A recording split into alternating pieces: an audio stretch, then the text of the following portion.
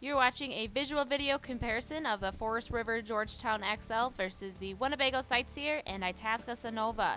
As you can see in this Forest River, uh, they mount their windshields in hard seals where Winnebago and Itasca mount their one-piece windshields like every other automotive manufacturer with non-hardening sealant. This Georgetown does not offer an inverter, which is standard 1000 watt inverter in the Sightseer and Sunova lineups.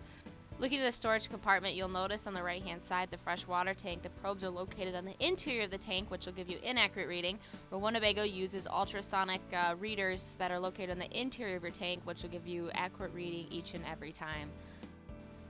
Taking a look at this compartment when it opens, you'll notice they use a fabric strap where Winnebago uses gas struts that will actually hold open your door and not only will it do that, but it'll prevent it from hitting the storage compartment next to it. Looking into this water fill here, you'll notice that they have a city water fill and a tank water fill, which you have to unhook and uh, hook up your uh, water hose each and every time. Or Winnebago actually has it all in one, where you only have to hook it up in one spot and you can decide. It's just a convenience factor. Also, you'll notice in this Georgetown, it has its dumping station located on the exterior of the coach, which will actually freeze, uh, where Winnebago has it located in a compartment. As you can see in this Georgetown, the screen door is extremely thin and is very, very flimsy, where Winnebago actually manufactures all their screen doors in-house, uh, which is very sturdy and uh, durable. Uh, the TV location is actually in the slide in front of uh, the entry door, which is in a very inconvenient spot that actually sticks out away from your coach. You're looking at the Georgetown slide rooms, and as you can see, they're very sharp edges, where Winnebago has more of a rounded edge that is finished, uh, so if you do bump into it, you will not cut yourself.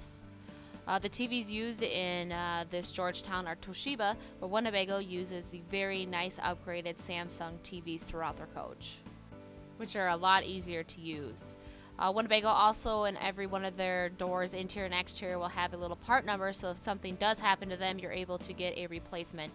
Where in the Georgetown, that is not an option because they do not have the numbers.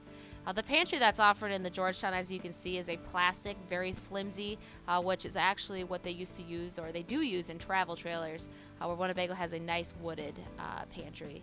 As you can see, they use those old day-night pleated shades, where Winnebago uses the new MCD day-night roller shades, which are very durable and easy to use.